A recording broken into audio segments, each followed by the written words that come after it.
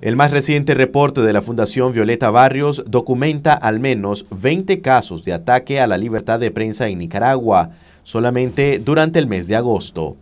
11 fueron agresiones y ataques, 6 obstrucciones al trabajo periodístico y 3 procesos judiciales. Del total de casos registrados, 14 fueron perpetrados en contra de periodistas y otros trabajadores de los medios de comunicación.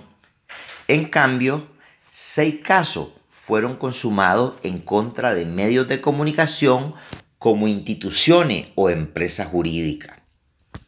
Fue evidente observar la ola represiva exhibida en procesos judiciales perpetrados contra periodistas. Alertamos de este nuevo método intimidatorio que utiliza el gobierno en su actual y feroz intento por silenciar la labor informativa de la prensa independiente. La Fundación Violeta Chamorro conoció que tres periodistas independientes fueron acusados por el delito de injurias y calumnias en el mes de agosto. La judicialización del trabajo periodístico es una práctica silenciosa, pero más siniestra para los periodistas que la sufren.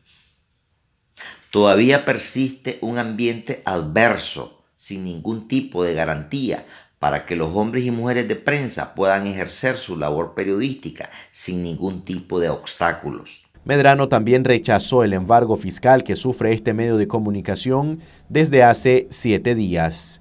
Nos solidarizamos con la administración, con los periodistas y todo el personal de Nicavisión ante este nuevo ataque feroz por parte del gobierno en contra de la prensa independiente y en esta oportunidad en contra de Canal 12, que durante todos estos últimos años ha sido víctima de asedio, de intimidación y de una escalada represiva con tal de silenciar a una de las pocas voces independientes que todavía nos quedan en Nicaragua y que es a través del cual los nicaragüenses nos informamos como lo es Noticias 12.